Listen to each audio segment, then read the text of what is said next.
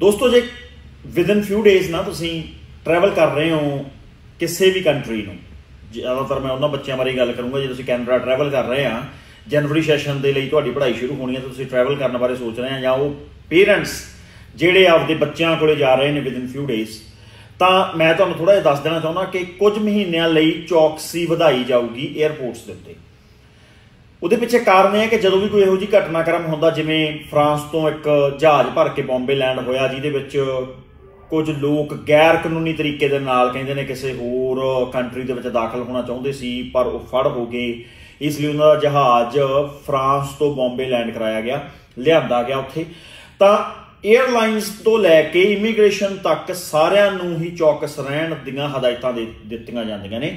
ਸੋ ਖਾਸ ਕਰਕੇ ਜਦੋਂ ਤੁਸੀਂ 에ਅਰਲਾਈਨ ਨੂੰ ਚੈੱਕ ਇਨ ਕਰਨਾ ਆ ਚੈੱਕ ਇਨ ਕਿੱਥੇ ਹੁੰਦਾ? ਜਦੋਂ ਤੁਸੀਂ ਪਹਿਲਾਂ 에ਅਰਪੋਰਟ ਐਂਟਰ ਹੋਣ ਸਾਰ ਜਿੱਥੇ ਆਪਦੇ ਬੈਗ ਦਿੰਨੇ ਹੋ। ਜਿਹੜੇ 에ਅਰਲਾਈਨ ਤੁਹਾਡੀ ਬੁਕਿੰਗ ਹੁੰਦੀ ਉਹਦੇ ਕਾਊਂਟਰ ਤੇ ਜਾ ਕੇ ਤੁਸੀਂ ਆਪਦੇ ਬੈਗ ਦਾ ਭਾਰ ਤੋਲ ਕੇ ਉਹਨੂੰ ਉਹਨੂੰ ਬੈਗ ਦਿੰਦੇ ਹੋ ਤੇ ਨਾਲ ਤੁਹਾਡੇ ਉਹ ਡਾਕੂਮੈਂਟ ਚੈੱਕ ਕਰਦੇ ਨੇ। 에ਅਰਲਾਈਨ ਨੂੰ ਵੀ ਫੁੱਲ ਅਥਾਰਟੀ ਦਿੱਤੀ ਜਾਂਦੀ ਆ ਕਿ ਤੁਸੀਂ ਕਾਗਜ਼ ਚੈੱਕ ਕਰਕੇ ਆ ਬੰਦੇ ਨੂੰ ਬੋਰਡਿੰਗ ਵਾਸਤੇ ਭੇਜਣਾ ਆ।